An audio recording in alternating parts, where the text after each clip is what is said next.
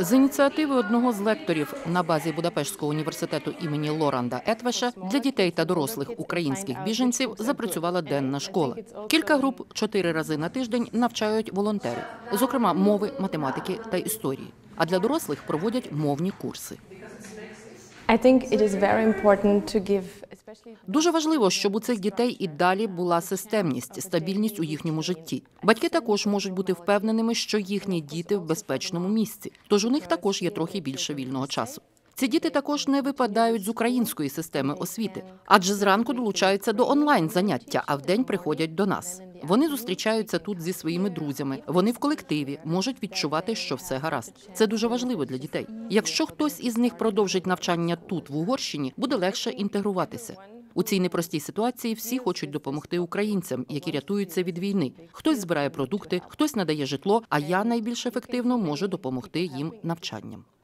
Пані Крістіна також прагне, щоб українські діти-біженці мали можливість вчитися музиці та займатися спортом. За словами спеціаліста, важливо, щоб українські діти проводили якомога більше часу з угорською молоддю. Ми вивчаємо біологію, математику, Історію України, історію України. англійську мову, німецьку і угорську. Тут е, цікаво, тут е, можна знайти багато друзів. Да. А, так. Наразі уроки відвідують 50 дітей двох вікових категорій. Навчають їх 15 педагогів-волонтерів. Ми намагаємося проводити більше практичних занять, менше граматики, тобто найважливіше для комунікації спитати, як пройти ситуації в отриманні медичної допомоги, спілкуванні в школі тощо.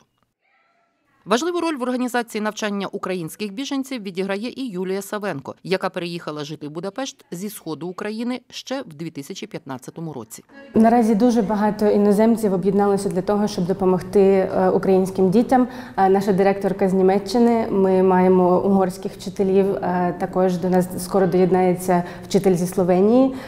Тому це дуже інтернаціональна команда, яка вся працює на допомогу нашим дітям.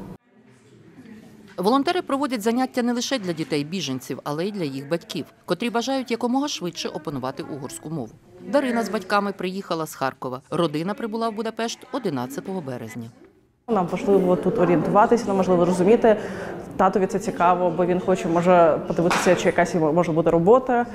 І для цього, звісно, що ми маємо поважати закон і мову, і звичаї країни, в яку ми приїхали. Тому це надважливо для нас вивчати зараз мову. Е, Вона дуже цікава, вона складна. Ну, це, це, це, це, так, не без цього. Але нам, нам дуже подобається сюди ходити. Нам дуже подобається наша викладачка е, Шаре. От е, вона молодець. І нам дуже приємно, що ну, у нас є такі можливості взагалі. З початку війни Україну покинуло понад 4,5 мільйони людей, які виїхали в країни Євросоюзу. Серед біженців дуже багато дітей, які потребують особливої уваги. За оцінкою ООН, після вторгнення Росії свої домівки були змушені покинути загалом понад 10 мільйонів українців, і війна вплине на життя кількох поколінь.